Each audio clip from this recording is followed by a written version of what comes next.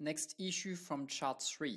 The kickoff pressure has been selected too high. So in that case, what would happen is that your surface gas lift choke will be fully open and your kickoff pressure is going to be almost equal to the gas lift network pressure. So this is what we can see over there. The casing head pressure is almost equal to the kickoff pressure and to the gas lift network pressure. Therefore, the casing head pressure is too low to fully open the unloading valve. So because you don't have enough casing pressure at the depth of this first valve over there, because of the throttling effect of the valve, the darts in your valve is too close from the orifice and your valve is not fully open and basically not open enough to allow a good amount of gas lift to circulate across it. So for that reason, it restricts the gas lift rates and the gas lift rates in that case is insufficient to lift your well and your unloading sequence is stuck at the first valve. So what kind of diagnostic can you do in this case? You should compare the kickoff pressure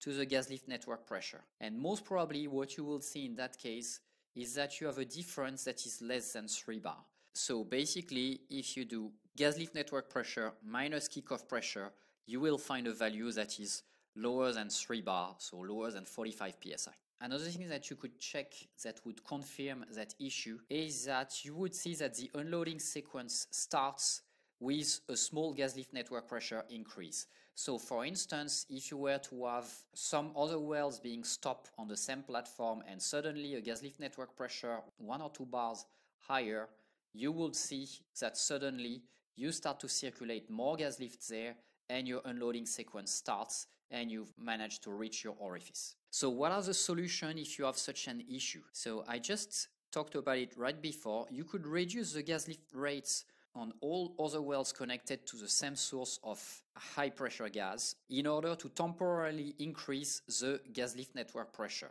So if you are able to temporarily increase the gas lift network pressure, you should be able to temporarily increase the casing head pressure in that well so that it allows this first valve to open fully. You could also start the well with the choke closed method. So methods that I'm going to detail later on in this training.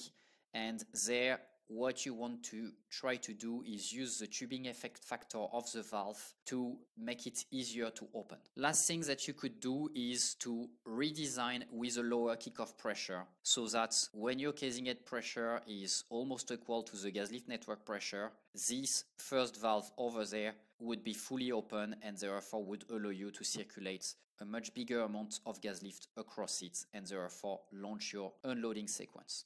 So to understand this issue, you need to know how the injection pressure operated valve work and what is the throttling effect. So refer to my gas lift equipment training if you forgot.